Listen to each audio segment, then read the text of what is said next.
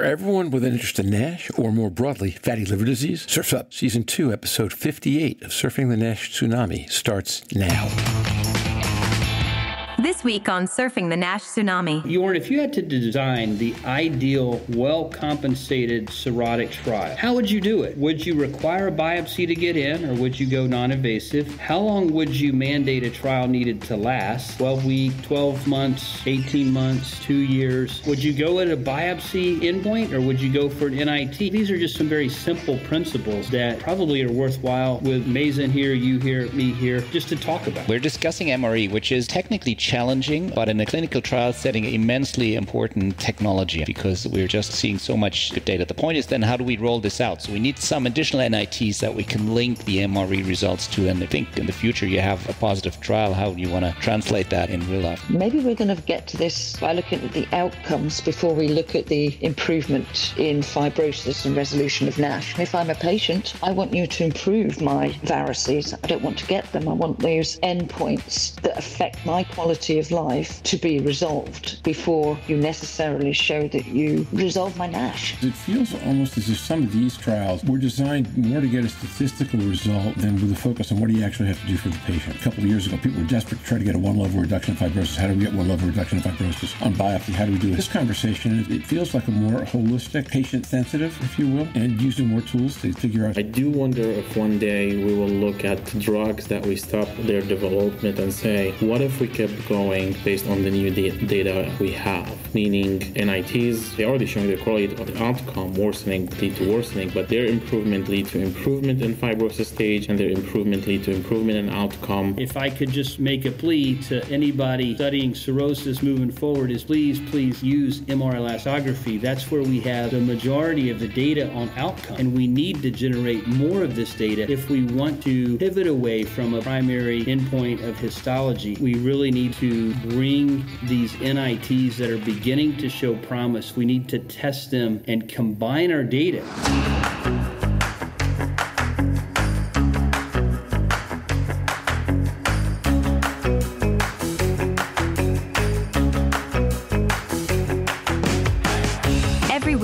Global community of fatty liver disease stakeholders comes together to explore the most important challenges in diagnosing, treating, and developing medications for patients with fatty liver diseases. Join hepatology researcher and key opinion leader Dr. Stephen Harrison, liver wellness advocate Louise Campbell, pricing and forecasting guru Roger Green, and this week's guests, hepatology researchers and key opinion leaders Drs. Jorn Schattenberg and Mazen Noureddin, as they consider current cirrhosis trials and their possible role in the shift to NITs, this week on Surfing the NASH Tsunami.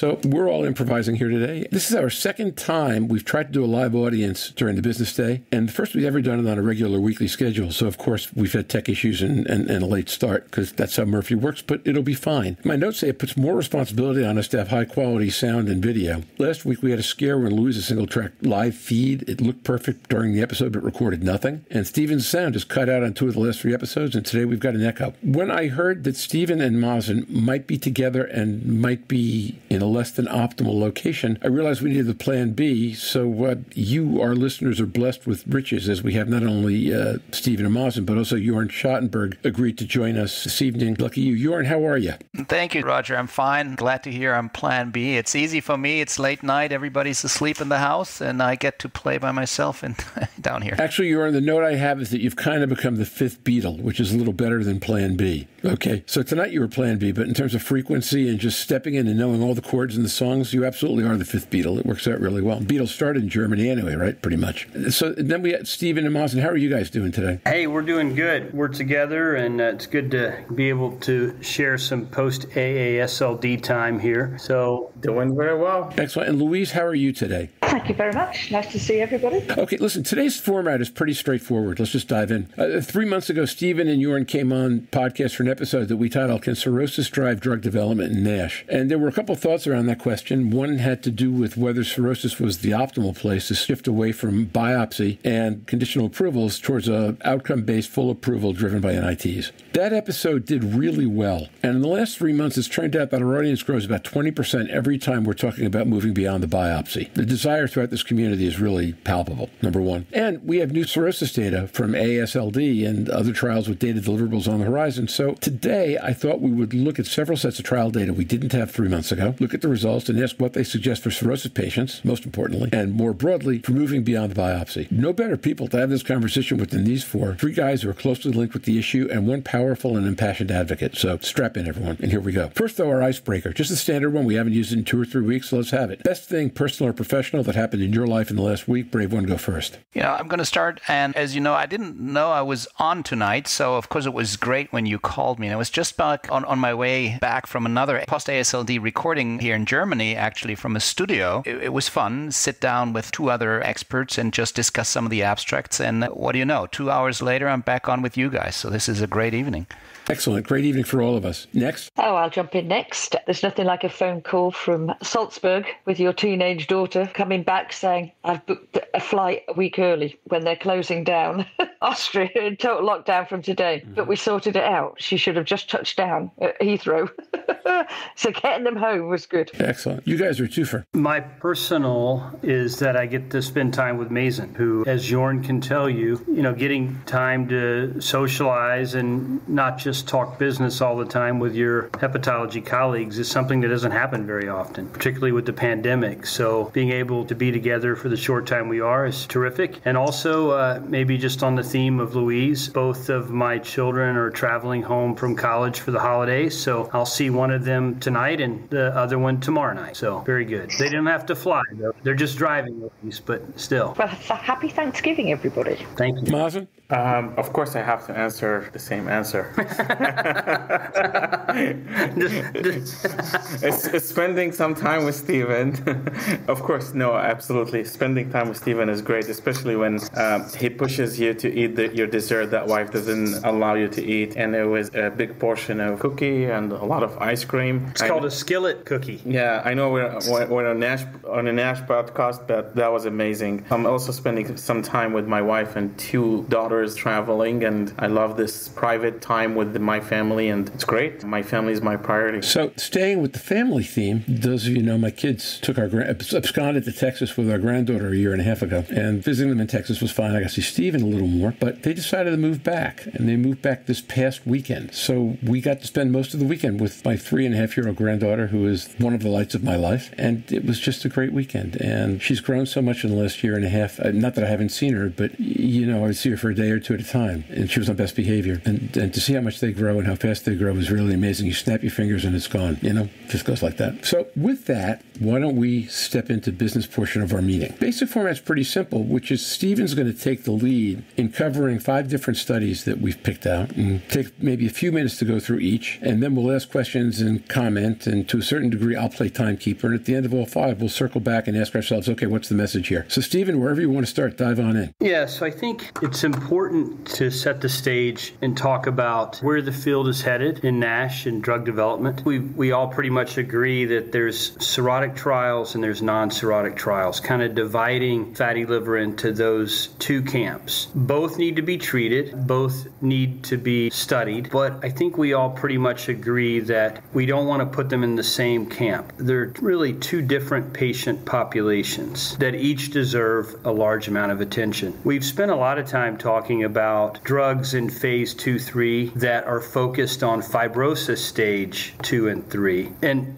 outside of the conversation we've had with Jorn, we haven't spent a lot of time on the cirrhotic part of NASH drug development. So I thought we would take the next 30, 40 minutes and just kind of talk about where the field is currently in cirrhosis. And what better place to do that than on the heels of AASLD. And in that vein, we did have some data presented. We had the baseline data from the reverse trial presented, I believe, by Vlad Ratziu. And then we also had some data presented from Galectin on belapectin, just a kind of a post hoc analysis of the phase two data that really speaks to enrollment in cirrhotic trials. And I think it's important to go through that data. And then there's the pegbelfermin FALCON 2 study, which was a phase 2B readout in well compensated cirrhotics. I just want to briefly go through that, maybe open it up for some discussion. Jorn was a big part of the galectin data that was presented. Obviously, Manal presented the FALCON 2. She's not with us today to speak to it, but I was part of that study. I don't know if Mazen or Jorn, if you guys were, we can go through that. And then I want to spend the last part of this discussion on where we are currently in drug development for cirrhotics. We have three trials currently enrolling Symmetry with the FGF21 efruxifermin, Alpine 4 with the FGF19 aldafermin, and then we have Galectin's ongoing adaptive phase 2 3 trial. And I think it's also, if we have time, important to reflect on the NITs in this space and how potentially we can use our NITs to transform drug development, maybe initially in cirrhotics. And we've talked about that a bit more as well. This is a good time to bring it up in the podcast. We'll also have more dialogue and interaction at NASHTAG this year, where we are fortunate enough to have some of the FDA regulators participating in those discussions. But with that being said, let me just touch on some of the data that was presented. The first one I wanted to talk briefly about was the uh, study design and baseline patient characteristics of the REVERSE trial. So, as, as many of you know, REVERSE is a registrational phase three placebo controlled multi centered trial to evaluate the efficacy and safety of obeticholic acid in adults with biopsy confirmed NASH cirrhosis. So, just top line 3,512 patients were screened, 919 were randomized in about 11 countries in North America, Europe, and Asia Pacific. And most patients were white, 16% Hispanic, two thirds of them were female. And that's consistent with what we know about NASH and advanced fibrosis, is that most of these trials are over enriched with females because it seems like they, uh, once you go through menopause, tend to progress a little bit more quicker. Uh, the baseline mean labs was a platelet count of around 187,000, ALT 52, albumin 4.29, total bili 0.75, INR 1.0. MELD was a 7.5, and looking at some of the NITs, the mean FIB4 was 2.39, NAFLD fibrosis score 0.788, and APRI 0.8. So what that tells me is that this is a very, very well compensated trial of patients. The scores are reflective of early cirrhosis, and the conclusions were patients enrolled in reverse represent a population with compensated NASH cirrhosis with no esophageal varices. And I think we get a hint of that from the baseline characteristics in the laboratory data that was presented. They go on to say that the findings from reverse provide critical information about histologic benefits of OCA and its potential role in slowing disease progression, which I think is important when we talk about study design in cirrhotic trials. What's our endpoint? Is it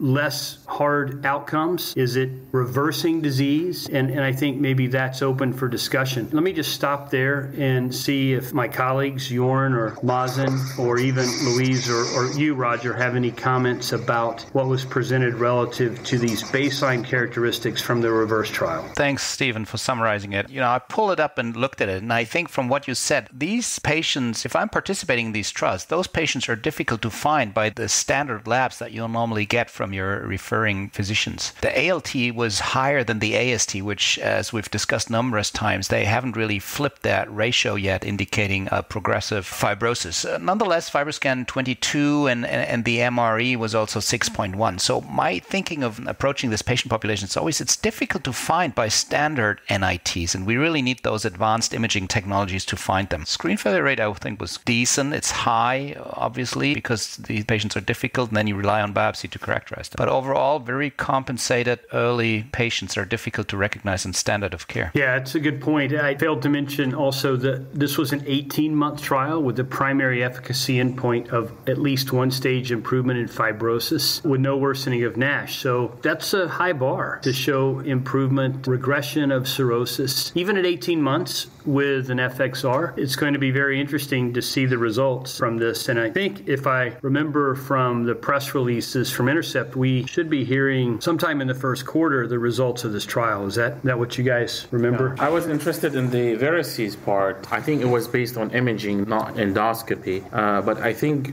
it's okay enough for me that they don't have varices on imaging. And w- why this is important? Few things. The Galectin phase two trial, as you know, it was, I don't want to say a failure, I think it was they did not meet the primary endpoint of reducing portal pressures when they had the compensated cirrhosis with elevated portal pressures with varices. And they did hit that. They did hit the primary endpoint, which is reducing pressures in the non varices group. And they also had less development of varices in the 2 milligram dose. So it seems that if we want to talk about the point of no return, it's possible. I don't want to like jump into conclusions. We're early in this, but it seems that varices is one of these points of no return, or when it turn, I don't want to say that common, but it turns cirrhosis into a beast, which is harder to treat and you have to rustle it more. So I think that's a very important point to make on, on these varices.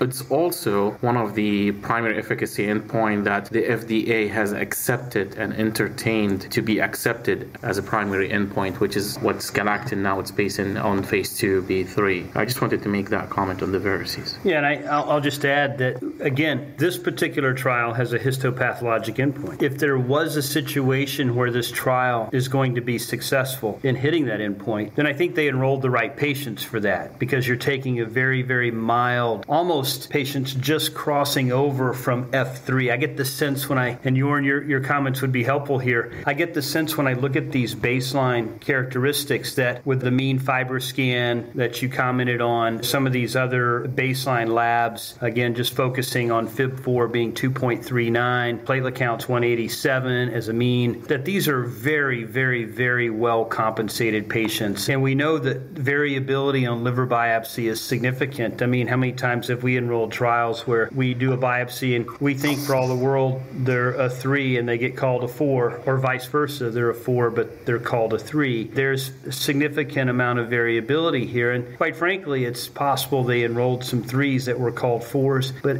ultimately, this is an early, early group of cirrhotics that if you were going to hit that histopathologic endpoint, you're going to want to do it prior to them developing portal hypertension, as noted by varices. If there was a situation where in 900 patients treated for 18 months, you were going to see a reversal of disease. This is the population to do it. It really comes down to mechanism at this point, and does it have enough firepower to, to do the job? Yeah, and you know, the FXR, I think, as you said, could be in the right position to do that. You know, after all the discussions we had here on the podcast, I would even want to see something like spleen volume or potentially spleen stiffness on this too, and see how that reverses, because that's in, in a sweet spot where the spleen really starts to change, but it's not fixated yet from long-standing portal hypertension hypertension, that would be a decent analysis in this uh, subgroup of patients. Yeah, very good point, actually. I've been talking yeah, about yeah. spleen size. That's, that's a great point. That's the one, but that's the great point. But but Jorn, that's the one.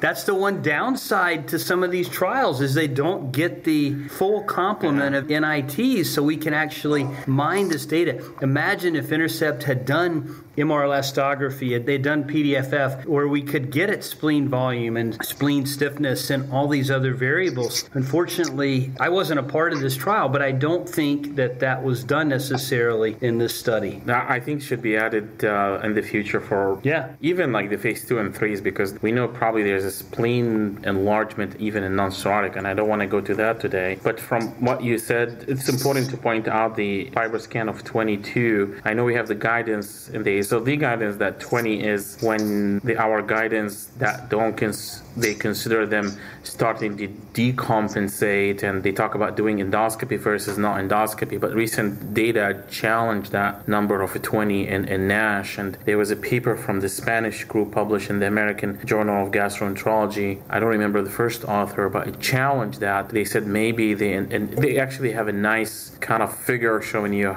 the platelet correlation with the stiffness and all that. So it's probably 25 kPa in NASH cirrhotic when you start decompensating, not 22. And also from data that we published from our center, we know that MRE decompensation point is at least at 6.48 or something. So this 0.4 or almost 0.4 less is a lot for MRE. Another point I want to emphasize on Roger is, and I'm sorry to be a little bit tough on the industry for the cirrhotics. I think the cirrhotics is a difficult group, and whatever we achieve in them will be great. The point that I want to make is, as Stephen said, this one point, they got their best chance to achieve that one point improvement. Nevertheless, I'm still not sure if that one point improvement is fair enough for cirrhotic trials or at least as a test. I was given that analogy the other day and I said going from phase four to three in one stage of improvement is different from two to one. And I gave the example two to one is going from DC to New York and four to three is going from DC to Los Angeles. It's not the same distance. So that one fibrosis stage between two and one is is totally different for, from four and three. And I think that's why we need the other histological features as well as that's where histoindex path AI play a role. We did present data from galectin and this ASLD looking at other cirrhotic features. That was not our idea actually. The, the idea started from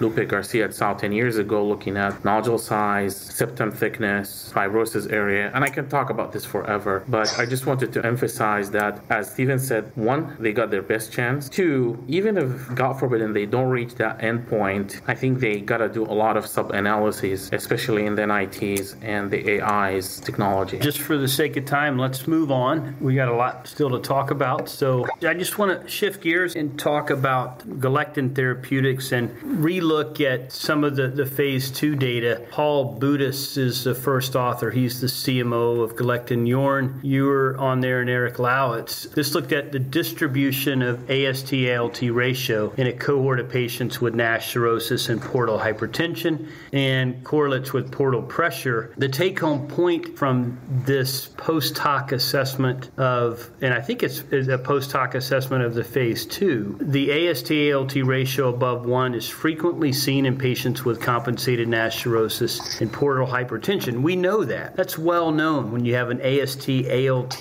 that is equivalent to each other. We know the odds ratio ratio for advanced fibrosis is 9. This is well documented. What's new, or, or maybe this kind of sheds more light on this, is the AST ALT ratio is strongly correlated with HVPG. And the take home message from this particular poster was that this ratio could help physicians to suspect cirrhosis in patients with NAFLD. And when it's present, the ratio provides a simple non invasive tool to estimate the degree of portal hypertension. This actually was quite fascinating to me because I did not know the second part. This ratio kind of correlated with HVPG. I think this might actually be quite helpful in identifying patients for clinical trials down the road. What what do you think, Jorn? Yeah, thanks for pulling that abstract up, Stephen. It came out of a quick discussion we had and, and is in fact uh, reflects the phase two data. You know, the De Ritis quotient has been around for some time, and I commented on it in the previous trial you presented. So that there's nothing new here. That with increasing cirrhosis, you get increase in AST, decrease in ALT, and that's how it flips. We're not so accommodated to HVPG measurements in clinical practice or clinical trials because we just haven't been doing them so often. They're tricky, they're variable, it depends on the centers, you need a good setup. I think in this very well performed phase two trial, it was very homogeneously, and there you could see that it correlated close to the factors we know and we normally look at for patients with cirrhosis. You know, it was a quick, small analysis, but well characterized data set, so I think that was good to see it as a poster. Yeah, I do too. Any any additional comments from this? Yeah, um, I, I just want to agree with that 100%. And I want to emphasize on what Jorn said and this is the galectin as well as the simtuzumab studies, any secondary data for them will be probably the last we see with HVPG correlation in clinical trials. Not because it's not good, it's fantastic. Uh, it's just because of the difficulty. So any secondary data, they're very valuable. And those trials were done in a very good fashion. I mean, I know the Galectin reading was done by Dr. Garcia et al. I don't remember who read this simtuzumab. I would, I would imagine it will be her. So any data come out from these two with HVPGs are, are fantastic. I think it was Jaime Bosch actually that read. Uh, but the, yeah. the,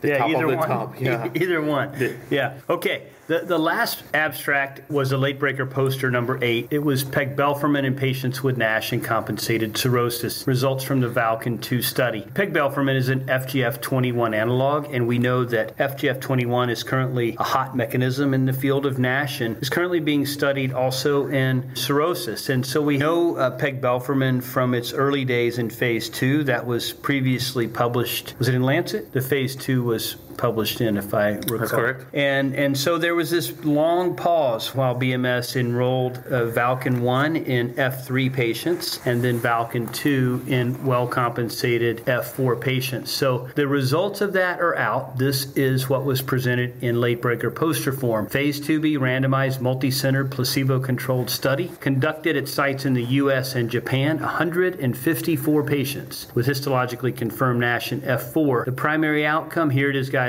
another histopathologic outcome greater than or equal to 1 point improvement in fibrosis. And three different doses of drug were studied, all sub-Q weekly, 10, 20 and 40 versus placebo for 48 weeks. So one uh, roughly 1 year of treatment with a liver biopsy at the end. And what we see was that pegbelfermin was safe and well tolerated, but really no improvement in fibrosis relative to placebo. There was improvement in steatosis, inflammation, and fibrosis as suggested by non invasive tests, but we did not see improvement histopathologically. There was a little bit closer look at MR elastography, which was done in this trial. And if you look at those patients who had a relative 15% or greater reduction in liver stiffness as measured by MR elastography, we see that almost 45% of the 40 milligram once weekly dose achieved, 45% of the patients achieved that measure of 15% relative reduction compared to placebo at 21.2. And there was a dose response relationship here. It was 11% improvement for 10 milligram, 32% improvement for 20, and then the 45% for the 40 milligram dose. So maybe a little bit of a disconnect between some of the NITs and the histopathology that was performed. We do not have AI digital pathology, fully quantitative assessment of collagen, at least as presented in poster form to my knowledge. But I open that up for Mazen or Jorn or Roger Louise for comment. I can start since I started before Jorn and I want to borrow his energy talking about NITs. And as I said, their primary endpoint was going from DC to Los Angeles, although we think it's going from DC to New York only. And I do wonder if these NITs are showing us that signal that it's actually moving from DC to New York, but you're asking for way more than we can deliver on biopsy. And that's why I think histoindex and PathAI are important things to look at. I do wonder if one day we will look at drugs that we stop their development and say, what if we kept going based on the new da- data we have? Meaning, fast forward NITs show that they correlate, they're already showing they correlate with the outcome, worsening lead to worsening, but their improvement lead to improvement in fibrosis stage and their improvement lead to improvement in outcome. We're already seeing the signal here, and I do wonder if one day we say that one stage fibrosis improvement in cirrhotic, we kill the drug, would, would it have worked? It's the right decision to stop this program at this stage. That's what they're doing, right? Stopping Yeah. it. That's why you do randomized clinical trials to see if it's going to work or not. And thanks to the patients that they put their livers and lives will do better. Good points, Mazen. You know, the point is we're looking at a number of static NITs here. The histology obviously obtained at two time points with a high placebo response. This was something peculiar in this trial. 12 of 39 patients, the placebo group, achieved the endpoint, and that was more than seen in any of the treatment drugs. The MRE changes, as Stephen highlighted, a little bit of a disconnect. Small patient numbers, so bottom line, maybe not too much change. The one marker that's interesting to me here, and I'm looking at the poster, is in figure 4C, there's the ProC3. Now, ProC3 is an experimental marker. If you think of the pathophysiology, um, it's a little, you can say it's more dynamically more profibrogenic. And what you see in the high dose, it, in the very beginning, it turns down, if I can interpret the results that way, turns down fibrogenesis a little bit, but then goes back up to normal. So it looks like the drug can maintain its efficacy over time. What I like about the ProC3, of course, you have uh, five or six uh, time points over the treatment course of those 48 weeks. And, and that's the clear advantage that you get to understand what happens during the trial, not just looking at the start and end. So I think that's why I like that particular data set in here. Let me just be pragmatic. So we talked a little bit about pegbelfermin, 48 week trial, what three different doses, placebo, biopsy to get in, biopsy to get out, greater than or equal to one stage improvement fibrosis. We talked about galectin there, looking at a non-invasive test as an endpoint, prevention of progression of varices. Thinking about this, whether you use histology or whether you go for an NIT, what I'm beginning to sense is we really want to try to target those patients that are super early on in cirrhosis before they develop portal hypertensive complications because I think that's a different beast. Hemodynamically, it's a different patient. How much can we really move scar tissue? I think I would like to see that we can move scar tissue in a very early, well compensated cirrhotic first before we try to attempt that in a mixed bag of patients, some that have portal hypertension, some that don't. And quite frankly, I think we learned that from the Galectin trial. Jorn, if you had to design the ideal, well compensated cirrhotic trial, how would you do it? I'm speaking in reference to would you require a biopsy to get in or would you go non invasive? How long would you mandate a trial needed to last? 12 week, 12 months, 18 months, two years? Would you go at a biopsy endpoint or would you go for an NIT? I think these are just some very simple principles that probably are worthwhile with Mazen here, you here, me here, just to talk about. Yeah, great points. Based on what we've seen, I would say I would not do a biopsy controlled histological endpoint trial. I would want to do an NIT driven trial, potentially looking at clinical outcomes, but that's maybe not optimal in that very early population. Prevention of varices is an attractive, but also not straightforward endpoint. So, NITs, we've discussed MRE changes a lot, and there is good evidence linking MRE changes to improvement, prevention of endpoints, but also increases to endpoints. So, I think that's the best data set we have, and I, and I would probably want to try for that. You can discuss and make a case that you want to want to get a baseline biopsy to show the histology, but then in the end, I wouldn't base it on changes on histology as an outcome. I will take an approach a little bit more conservative because I want to be in the middle between the NITs I love and I push for and the regulators' point of view. And I really want to give them a credit. In terms of baseline enrollment, I just want to mention that they were part of the NASH Forum paper that was written and defined inclusion criteria for cirrhotics. Jorn, to your point, there is a biopsy in it, but there's a non biopsy part which goes into 1A and 1B. And 1B was strong enough, and part of it was also not based on biopsy. It was not based on NITs, but was based on things that we know nodular liver, lower platelet, and spleen, which we all have confidence in that the patient's cirrhotic. So the regulators are moving toward that step in terms of not needing biopsy for inclusion in cirrhotics clinical trials. So I'll, I'll give them a credit there. I honestly will also take the non-development of varices as an acceptable immediate next step. The reason why, because between the Stellars and the simtuzumab trials, uh, simtuzumab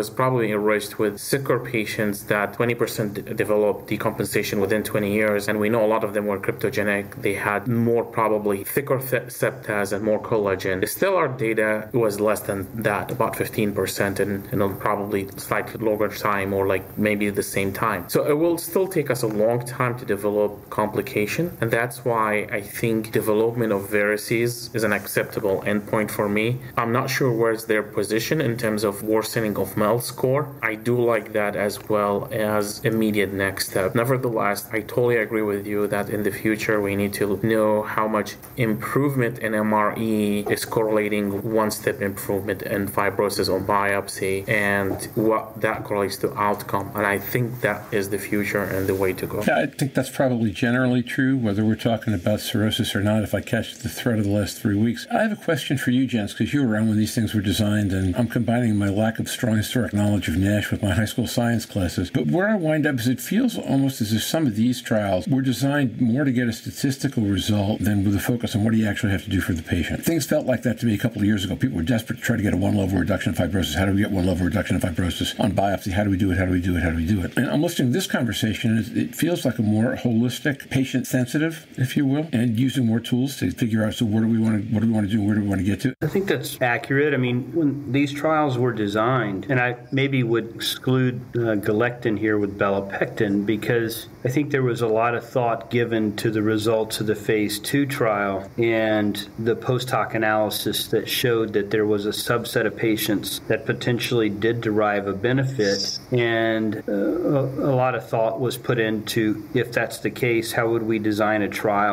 to clarify that point and unmask this heretofore unresolved issue of can the drug prevent the development of varices? Prior to that, we all wanted to do something for cirrhotics because when we see these people in clinic, there's not a lot we have to offer them. And we know that they're at high risk of disease progression and liver cancer. And so we want to do whatever we can to try to get a drug that, that works in this patient population. And the first way to do that was to show regression of fibrosis. As we've kind of matured the field a little bit and we have non invasive tests that are linking to outcome measures such as MR elastography. And we also are beginning to understand that, hey, just halting disease, you know, if you're a well compensated cirrhotic, like people that were enrolled in reverse, most of those people probably don't even know they have cirrhosis. They're walking and talking and living a normal life. And I don't know how many times Jorn and Mazen and myself see people and we tell them they're cirrhotic and they have this, this look of shock on their face like, what do you mean I have cirrhosis? I feel fine, doc. I'm, I'm not yellow. I'm not, I don't look like the Michelin man. I'm, I'm good. But if we could halt the disease there, and they could live 20 years with that same quality of life without developing liver cancer, we'd be fine with that. We'd be happy with that. And we don't have that yet as an endpoint. So that's another thing to, to contemplate. Stephen, we have question out of the audience um, from uh, Sen Sundaram from uh, Terns, and I'd like to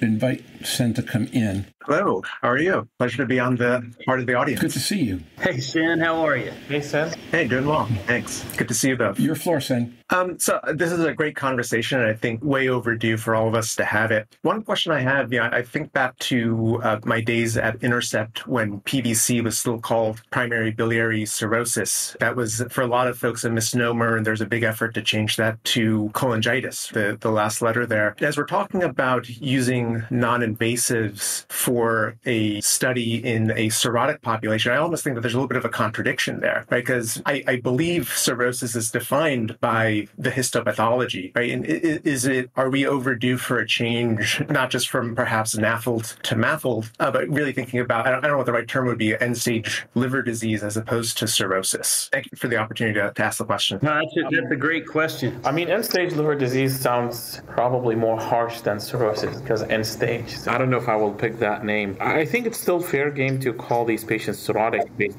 on the natural history and what we know about NASH because they, really their next step is they go from whatever scale you want to use, Brunt, Kleiner, if, even if you want to apply other scales, is the same histological process and eventually portal hypertension and they go there. So it's not unfair to call it cirrhosis when they have that histology that we see. It's a little bit different from primary biliary cholangitis. So I, I don't know if I got your question correctly, but I think we're coining them with the right terminology. Yeah, you know, my take of it is, Stephen, you want to go next, but my, my take of it is we, we are linking ourselves to histology and defining cirrhosis sin, and that's what you come from. And maybe we should call it MRE high disease or something, but that disconnects it from all the clinical data and all the experience we have. You know, we have the Baveno criteria defining unlikely outcomes in these cirrhotic patients populations. There is room to argue that we need to define our disease population by NITs, but we have to kind of stick to what we know from caring for these patients. That's why you can't totally disconnected. Maybe we can use the 6.1 that we have from the reverse data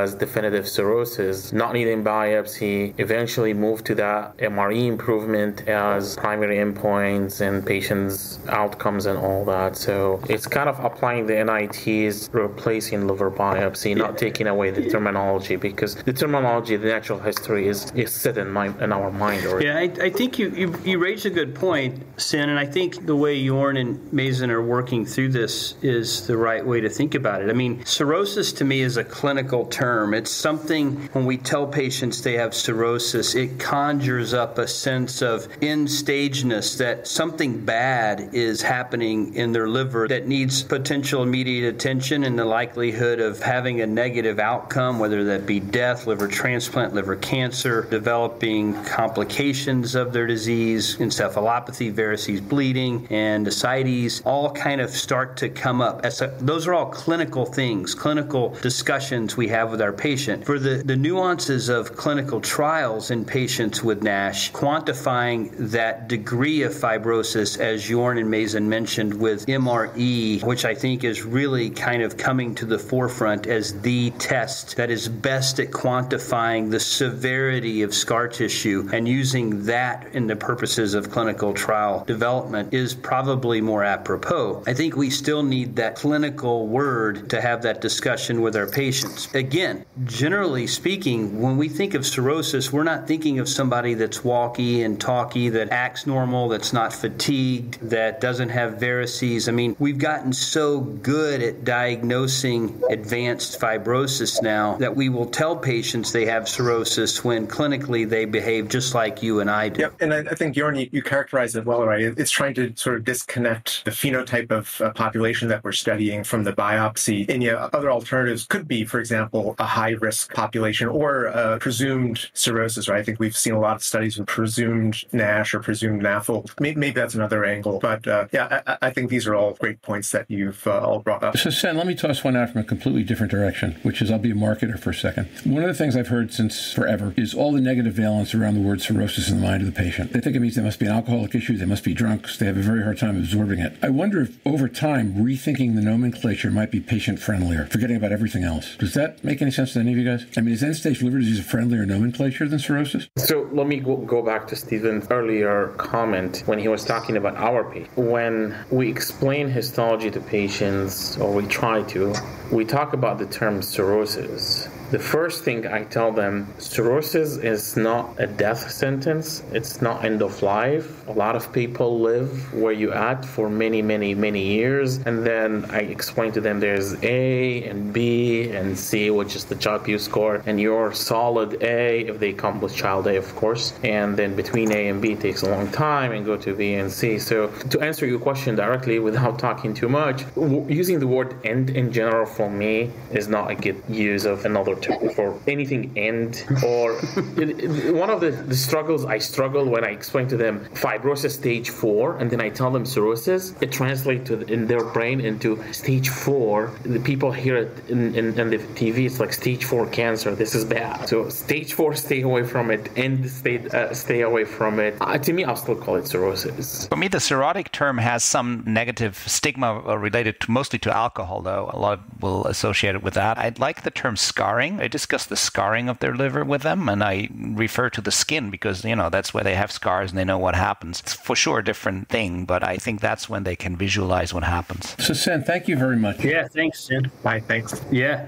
for the sake of time, Roger, I just wanted to finish up with where we are with the trials that are currently ongoing, and you know there there are three trials. If you look at clinicaltrials.gov that are currently enrolling NASH cirrhotics, and just at a high level, those are a Akero's symmetry trial with efruxifermin, uh, which is looking at, at two different doses of drug versus placebo. It's a 36 week trial with the primary endpoint being improvement in fibrosis by at least one stage with no worsening of NASH. So there's a 36 week trial with biopsy in, biopsy out. And then we talked about the Galectin trial that's still ongoing, phase 2B3. So there's an 18 month phase 2B portion, there's an 18 month phase 3 portion. You have to have NASH cirrhosis without varices, a child's score of less than seven, and really no clinical signs of portal hypertension. The idea there is to look at two two different doses of drug. This is an infusion given every two weeks compared to placebo, and you're looking at preventing the development of esophageal varices. And so uh, the primary efficacy endpoint is the proportion of patients in the belapectin treatment groups who develop varices at 78 weeks or 18 months of treatment compared to placebo. And then finally, Alpine 4, which is an FGF 19 cirrhotic trial looking at aldafermin. In that particular trial, again, you have to have a biopsy showing NASH with F4 disease. These are Child-Pugh A patients with no history of decompensation or varices, and treatment is for 48 weeks, with the primary endpoint being improvement in fibrosis by at least one stage with no worsening of NASH. So we have ultimately three trials currently enrolling one FGF 21, one FGF 19, and one with belapectin, which is a galectin 3 inhibitor. Two of these have histology as that primary endpoint, one at 36 weeks, one at 48 weeks, and then one is a non invasive looking at the development of varices. Maybe importantly, when we begin to focus on these NITs, particularly we've talked about MR elastography. Unfortunately, I don't believe any one of these have MRE being a part of the trial, which, if I could just make a plea to anybody studying cirrhosis moving forward, is please, please use MR elastography. That's where we have the majority of the data on outcomes, and we need to generate more of this data if we want to pivot away from a primary endpoint of histology. We really need to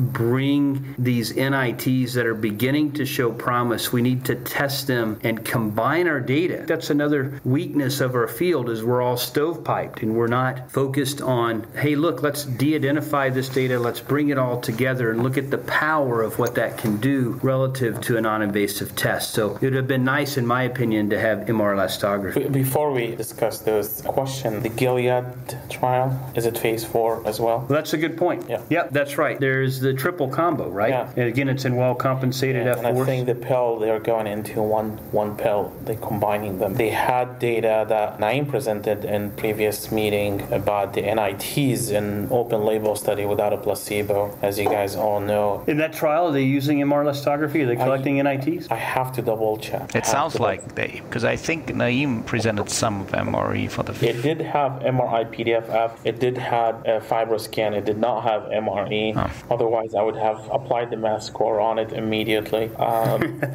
don't know about the current design. Everyone is starting it now, so we're just getting familiarized with the protocol now. you know, just reflecting on that again, we're discussing MRE, which is technically challenging, but in a clinical trial setting, immensely important technology, I believe, because we're just having seeing so much so much good data. The point is then how do we roll this out? So we need some additional NITs that we can link the MRE results to. And if you think in the future you have a positive trial, how do you want to translate that in real life practice? So I think in the clinical trial setting it's great, but we need additional NITs alongside. Yeah, and the MRE is, I don't want to complicate things. It has its own complications in terms of interpretation in the longitudinal movement. A lot of things that needs to be considered. For instance, if you're defattening the liver, you have to take volume change in consideration and relative to the MRE. I had this fascinating conversation with Becky Taub the other day about MRE changes and the volume changes. If we get it correctly, it will be true representation of decreased fibrosis that the regulator would like, overall stiffness of the liver in a more universal way that will correlate with outcome eventually. So You know, the other thing is it is expensive for sure. That's one consideration that has to be taken uh, as you develop these trials is the cost of doing that. Uh,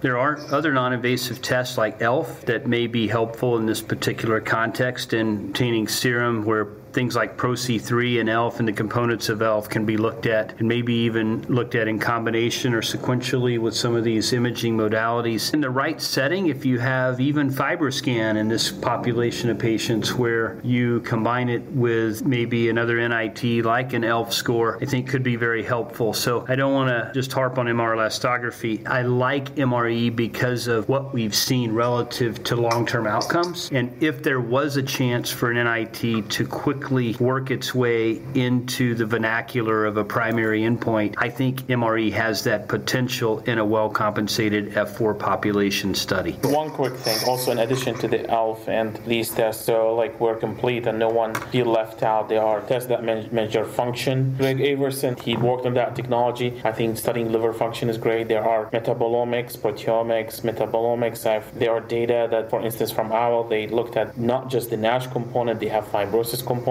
So to your own point, enriching NITs and correlating it with MRE, other than the famous ones such as ELF and NIS4 and DOS and FAST and the new scores, the newcomers are very promising, and we should include those in the formula as well. So we're kind of at the bottom. Of the, in fact, we're a little bit past the bottom of the hour. Louise, I don't even know because I'm because I can't see and I can't hear you. I, I didn't know if you had anything you wanted to add or, or any thoughts or questions. No, No, I just thought it was a, a, fascinating discussion. And when I was listening to the guys there, I was just thinking there was a very good poster done on hepatic vein portal gradient based risk stratification in patients with compensated NAFLD cirrhosis, which was basically saying very much where the conversation went, which was if you can look at where the cutoff is, where you get the outcomes and mortality, then maybe we can find resolution to NAFLD and NASH or the outcomes before we actually meet the primary endpoints for the FDA. That showed that less than 10 for portal pressure, you had very little mortality. But once you got 10 to 15, it increased. And again, greater than 16. So maybe we're going to get to this by looking at the outcomes before we look at the improvement in fibrosis and resolution of NASH, because the outcomes and resolving those or improving them. And if I'm a patient, I want you to improve my varices. I don't want to get them. I want those endpoints that affect my quality of life to be resolved before you necessarily show that you resolve my NASH. Because yes, that affects my quality of life, but it's everything else around it that predict what's going to happen to me. So I thought it was a fascinating discussion. That post by Raphael Paternostro summed up where certainly a lot of the discussion went. I would have liked to have seen some NITs used on this. So where was the cutoff this for FibroScan, MMRE on the portal vein pressure gradients? But then we can put it into more routine clinical practice. I think that's a long way to go. But I enjoyed the discussion. It was great. Thanks, Louise. And I have one quick thought before we go to closing question. Stephen, I've heard you use the term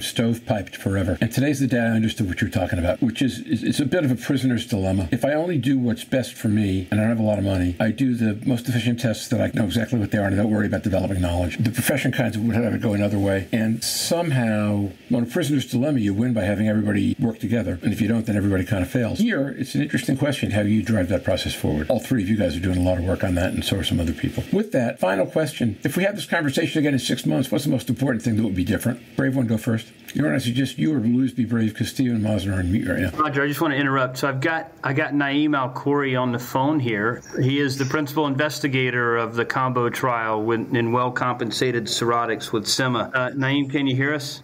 Uh, yes, yes. Are we talking about the Gilead with Novo trial? Yes. Yes. So the question that came up from that trial, and today's episode is on cirrhosis, and we were talking about the trials currently enrolling. Mazen reminded us that there was the ongoing trial with SEMA, the ACC inhibitor, and the FXR. So what we couldn't remember was were specific NITs being obtained in that trial, such as MR elastography? Uh, no, they're not doing MR elastography. I think it has to do with the cost more than anything else. So it's going to be a biopsy study, and the primary endpoint is improvement in fibrosis. Okay, that's what we we were we were. One of the things we commented on was that MRE apparently is not being included in any of the ongoing trials in cirrhosis, and one of the reasons is cost. I think. Yeah, I mean, I think it's a missed opportunity. Also, you know, Novo they have their own combination trial, and that includes some cirrhotics. And uh, as far as I know, there's no MRE in that one as well. Yeah. Well, super. Yeah. Well, thanks for joining us thanks, for one, one quick call. Appreciate it, man.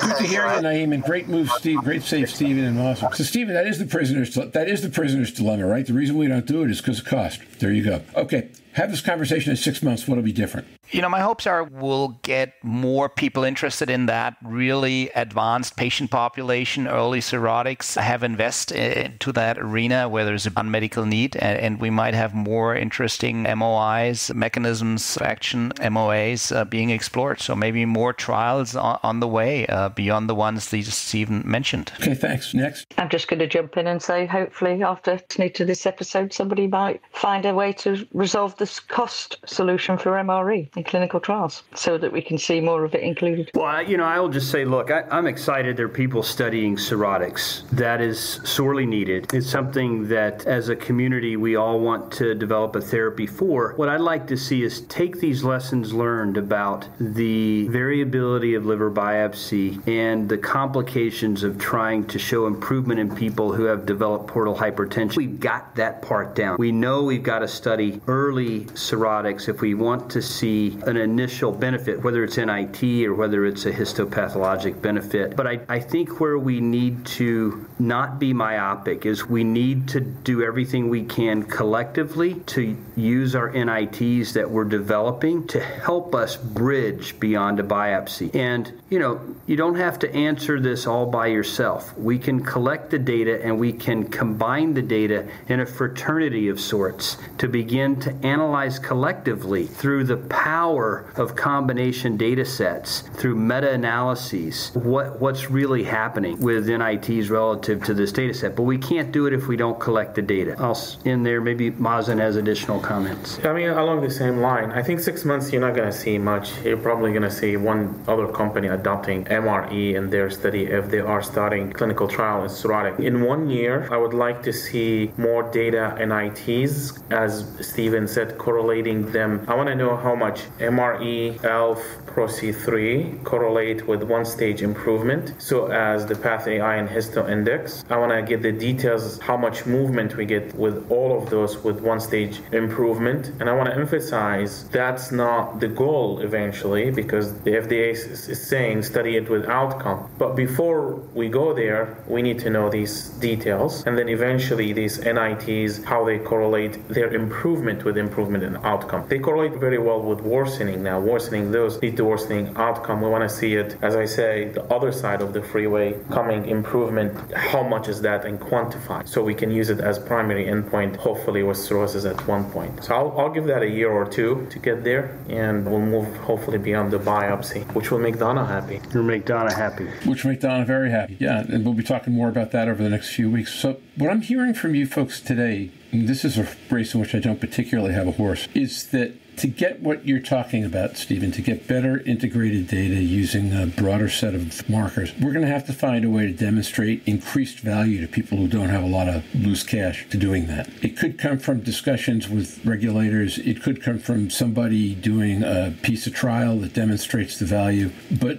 the sand will shift slowly in the right direction, but slowly until somebody uh, has a breakthrough that proves increased value, and then I think the floodgates open. Whether that happens in the next six months or not isn't clear to me, and I certainly whatever we can do with this podcast to help it happen, we're going to because it's one of the things we believe in. So I think that's having listened where I wind up. With that, let me thank everybody because there's been a lot of tweaking of schedules and timelines and stuff to make this happen. So, uh, Mazen, Stephen, thank you. Good to see both of you. Jorn, thank you so much. Louise, and uh, I'll be back with business section in a couple seconds. You all have a happy Thanksgiving and uh, see you soon. Okay, thanks. Bye bye now.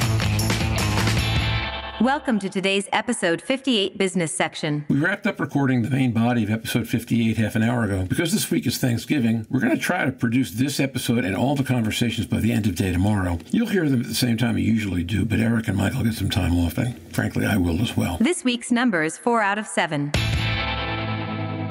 It's only Monday, but we've already cleared the 1,000 download benchmark this week for the fourth time in seven weeks. Not bad considering the first time we cleared even 900 was eight weeks ago. Here are a couple other metrics about listenership. In the last 30 days, Buzzsprout has recorded over 4,700 downloads from listeners in 28 countries on six continents. Google has found some kind of site visit in that same period from 55 different countries. Remember, I've told you Buzzsprout is conservative because they're IAB based. Podstatus.com has placed us on the top 250 medical list in 10 to 12 countries per day for the last two weeks, including three to five of the world's top 10 pharma markets. Which ones depend on and how many depend on the day? That's one thing we have to be thankful for this year. December will have some of our best programming yet.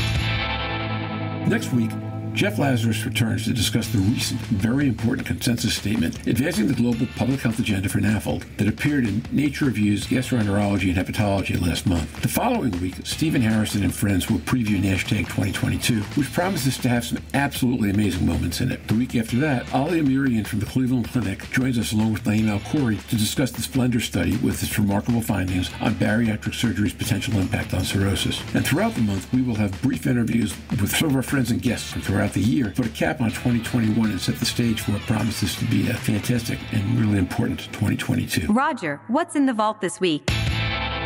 As many old downloads as people are grabbing, the Vault has some great options. From season one, the first four episodes all got some attention. Episode one was the year's co-leader for the second straight week, and episode four was my introductory episode, if anybody cares. Along with episode 39, which discussed how the then brand spanking new COVID vaccine might affect patient treatment and drug development. In season two, the remarkable Paris Nash imaging conversation 46.2 gained another 63 new downloads since Thursday morning to go over 550. Our second biggest episode to is slightly over 300. Think about the gap between those. Episodes 42 and 43, with Arun Sanyal talking about FGF and Jorn Schattenberg talking about cirrhosis, respectively, both did well. And among the more recent episodes, everything has done well, but episode 50, with Lars Johansson discussing new analytics, 51 with Scott Friedman discussing stellate cells and precision medicine, and 52 with Alina Allen discussing more on MRE, all scored high. As I said, I want to get this wrapped up and over to Mike Wilson so we can start work and get to Thanksgiving and cooking early, so I'm out. Thanks to all the people who made this possible. Our surfers, Jorn, who, as I said on the episode, is becoming something like the fifth Beatle, and Mazen, who always brings laughter and perspective. My amazing co-hosts, Stephen and Louise. Stephen, who carried the ball this week, and Louise, I'm confident you hear much more from next week when we're talking about the Naval consensus document. Mike Wilson, who has salvaged some truly remarkably tech-prepared recordings over the last couple of weeks and does it all with talent, energy, and a smile. Eric Rounds, who keeps you informed and me on my toes. Steve Ennin, whose major project should be getting started soon. Buzzsprout and Riverside, and Simon Says, whose software enables us to do what we do. Finally, all of you folks, our listeners, provide energy and inspiration to do this every week and point us in the right direction as we keep asking ourselves, okay, what next? That's an earful for you, mouthful or two for me, so I'm done. Stay safe, surf on, enjoy Thanksgiving, count your blessings, and we'll see you next week on the podcast. Bye bye now. Have any questions for the surfers? You can send them to surfingnash.com and we will answer on the podcast or the website.